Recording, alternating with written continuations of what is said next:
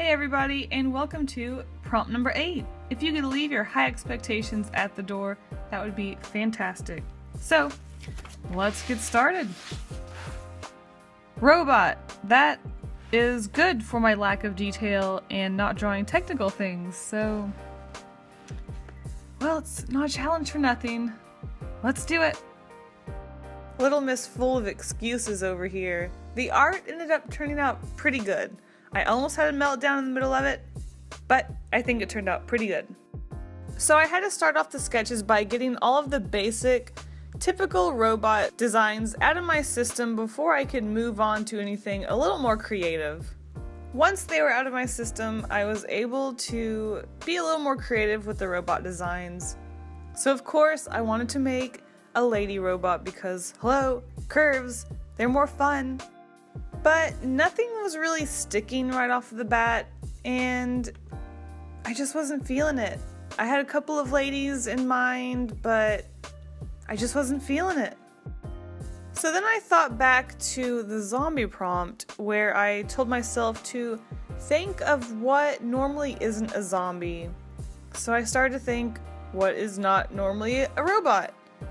And my initial thought was to just completely redo all of the same animals I did for the zombie and turn them into robots.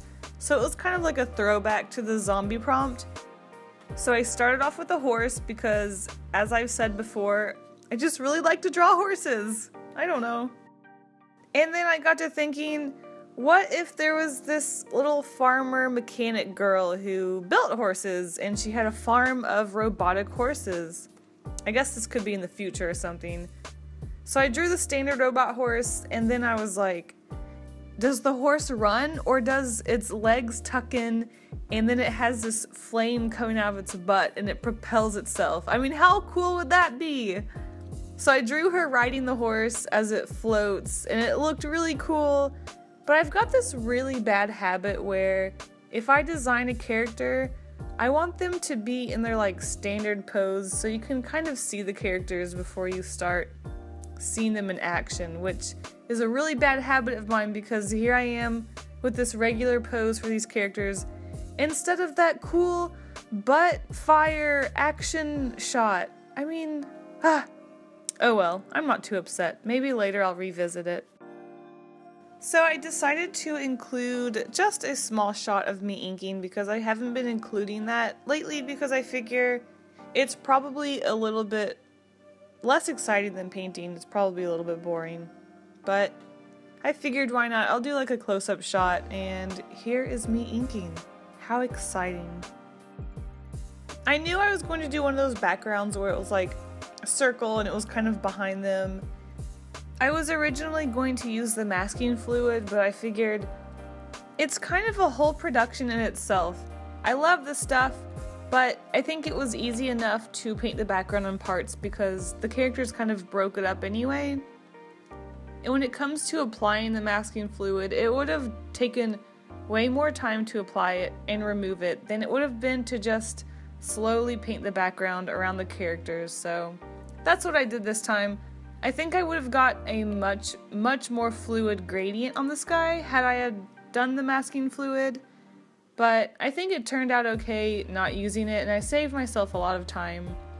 So I don't really regret it, but it is very handy if I do want a more fluid gradient. With the sky, I was trying to do a complementary color situation, so I was kind of planning ahead to where her hat would be yellow, so it would be around where the blue was, and then as the sky faded to orange, it would be where the robot was in her overalls, and they would have blue colors to them. But the blue ended up being way brighter than I anticipated, and the robot ended up kind of blending in with it.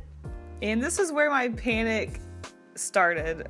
I really thought this illustration was the worst, and I was starting to just regret everything I had done for the background, and I just started to think, what can I do to fix it? So, my solution was to apply water to the blue areas and try to pick them up with a paper towel and kind of create a texture while also removing a lot of the brighter parts of the blue. So at this point, I did accept that the sky looked the way it did, and I moved on to the background. Do you recognize those cacti? Oh, yeah, they're my cacti. Not only in watercolor form, but in sewing form, they're my babies. Love my cacti. I guess this would be set in the Midwest, you know, somewhere in the states where it's deserty, but also cowboy y, you know, farms and such. I mean, it is a robot farm, so it doesn't need to be grassy, you know? You don't want it to be too rainy. You don't want your robot horses and cows to rust. Duh.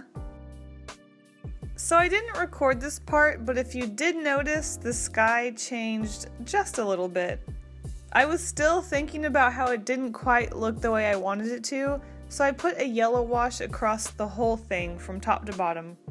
This way, the blue wasn't as bright and the horse didn't quite blend in as much as it used to with the blue sky.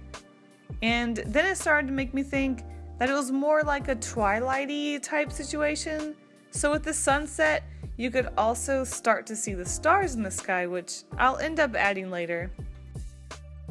So luckily I was finally able to move on because I was finally liking the way the sky was looking. Plus, adding stars to the sky adds just a little bit more interest and it's not just a plain gradient up there, so it just ended up working all around. I was a little hesitant to make her hair red, not only because she looks like the Wendy's girl now and don't mention it, but because her hair is the only red aspect in the whole illustration, so I didn't want to throw in another color and have it kind of all over the place, but I think it works. I was also at the point of my illustration where I thought, yes, my style is sort of flat and angular, but it is too flat. However, once I started adding on the dirt and the schmutz and the oil and stuff, it really started to come together a lot more.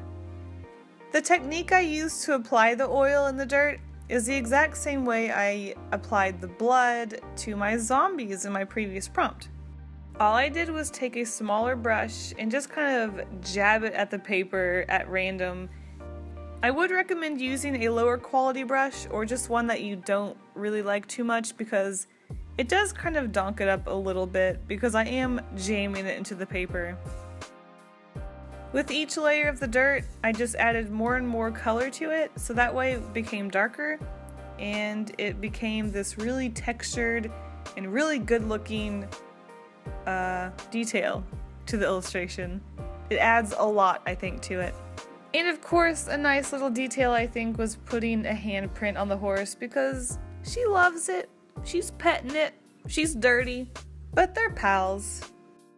So I think, despite my midway panic, I really came out with a successful prompt.